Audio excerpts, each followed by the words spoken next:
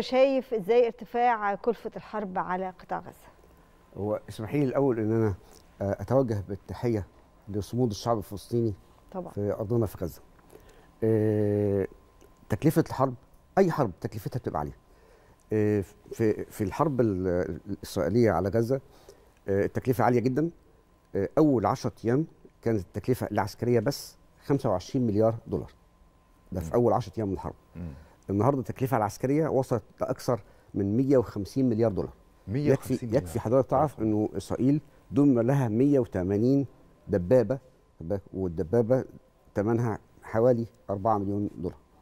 كويس فده ده ده الدبابات بس إحنا ما بنتكلمش على حاجة ثانية فالتكلفة الاقتص- الاقتصاديه للحرب نفسها عالية جدا ضيف لي كده إنه في تكلفة آه، ال- الدمار اللي أحدثته الحرب في دمار مركز في مناطق مختلفة من إسرائيل وسواء آه، في تل أبيب أو في صفد أو في في سديدروت أو أو حتى في المنطقة الشمالية لأن حزب الله كمان بيط- بيطلق صواريخ على إسرائيل.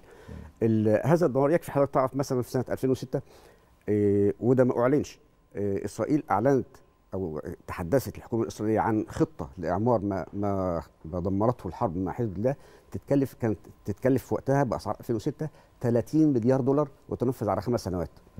فاللي أنا عايز أقوله النهارده التكلفة بتاعت إعمار ما دمرته الحرب لوحدها هتخش في أكتر من 100 مليار دولار. آه، في تكلفة أخرى هي تكلفة نزوح أو إجلاء مواطنين لأن هم ما نزحوش هو. اجلوا تم إجلاء مواطنين. إسرائيليين من آه، مستوطنات غلاف غزة ومن مستوطنات المنطقة الشمالية لمناطق داخل إسرائيل. ودي حركة دعائية لكن في الآخر تكلفتها عالية جدا لأنهم مقا- بيقيموا في مخيمات الهدف منها طبعا الدعاية إنه زي ما إحنا بنجلي آه، أهل غزة إحنا الناس بتوعنا بيتم إجلائهم. هم مش بيتم إجلائهم الحكومة الإسرائيلية اللي بتجليهم. وده برضه له تكلفة عالية.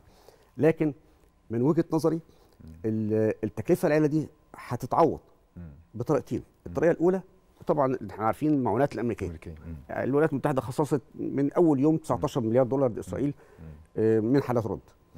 وهتديها منح تانية. لكن ال ال ال القيادة الإسرائيلية حطها في اعتبارها. ومش القيادة الإسرائيلية بس القيادة الأمريكية وقيادات الدول الأوروبية.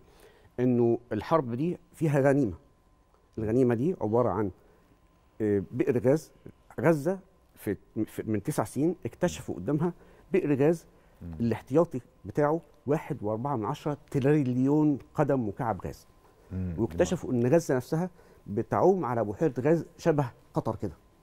وإن فيها آبار بترول احتياطي البترول بتاعها آه، واحد آه، آسف 120 مليار برميل بترول. دي, دي معلومة مهمة وبتتصل كمان بالدكتور شريف جاد لما كان معانا على الهواء بيحلل الصحافة الروسية. كان في تقرير في إحدى الصحف الروسية باسم ثروة غزة. يعني غزة فيها ثروات كبيرة جدا. بس ده هيخليني أسأل حضرتك إذا آه، آه، استغلت إسرائيل هذه الثروة أو استثمرتها فده هيكون تحت غطاء الاحتلال. يعني هي هل تنوي أن تحتل غزة بعد انتهاء الحرب؟ هو الهدف المعلن اللي أعلنه رئيس الوزراء نتنياهو من أول لحظة في الحرب إخلاء غزة تماما وطرد سكانها وقتها قال إلى الأراضي المصرية إلى سيناء مم. خد بالك فهو عايز يخلي غزة تماما ويستولي عليها تبقى أرض إسرائيلية مم. النهارده آه، وزراء إسرائيليين بيتكلموا عن ضرورة الاستيطان في غزة بعد الحرب مم. هو هو مش عايز يحتل غزة هو عايز يجليها من السكان من السكان ويستولي عليها تبقى تبقى عليها أرض- أمنياً. تبقى أرض إس- آه. لا مش أمنية هو عايز يستولي عليها تبقى. أرض إسرائيلية تماما ولكن ده بيتنافى مع التصريحات الأمريكية حتى وإن كانت على أرض الواقع لا تنفذ لكن التصريحات الأمريكية بترفض التهجير القسري للفلسطينيين من أراضي غزة وبترفض أيضا الإدارة الإدارة الإسرائيلية لقطاع غزة في مرحلة ما بعد الحرب. آه، التصريحات الأمريكية آه، عبارة عن تصريحات للاستهلاك المحلي بكل صراحة. الأمريكان من من من 40 سنة ولا من 50 سنة بيصدروا تصريحات معينة عشان تمنع إسرائيل من عمل أشياء لكن إسرائيل لما بتعملها خلاص عملتها هنعمل لهم إيه؟ ما, ما فيش وسيلة ما أو ما بيلجأوش لعقاب إسرائيل.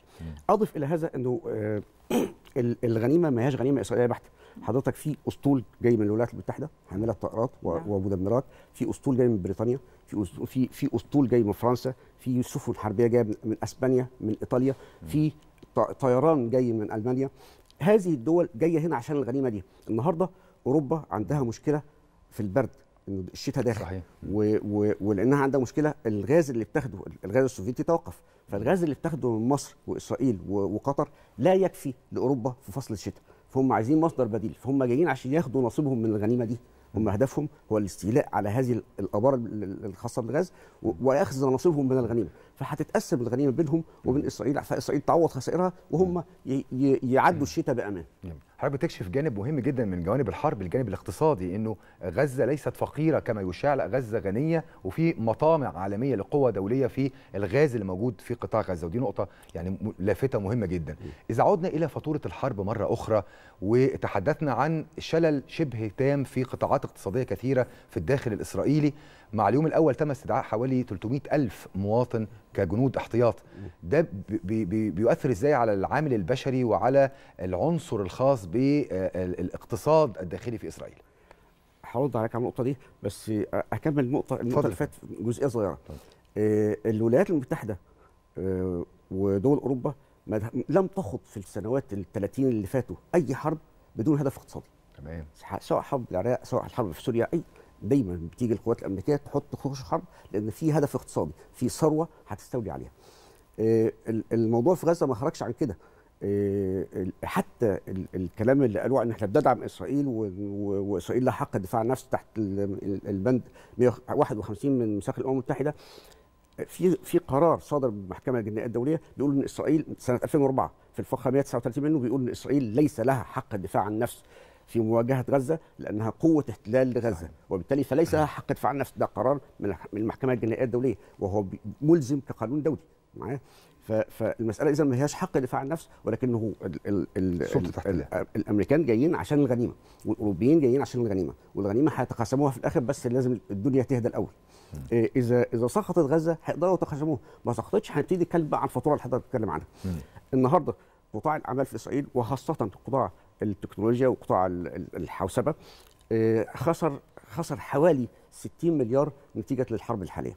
إيه، وخسر أسواق. ال- ال- المشكلة في ال- الأساسية في الخسائر مش مجرد إنه خسر مبلغ مالي الآن لكنه خسر أسواق لأنه كان له التزامات وتوقف عن الوفاء بها والالتزامات اللي في الأسواق دي لما لما طرف بيتوقف عن الوفاء بها السوق ما بيتوقفش بيلجأ لطرف آخر يعوض النقص فلجأت الأطراف اللي فيه التزامات بينها وبين إسرائيل إلى أطراف أخرى لتعويض النقص. مش هتيجي بعد الحرب تقول لأ الأطراف دي ترجع تاني ونرجع إسرائيل لل- لل- للعلاقات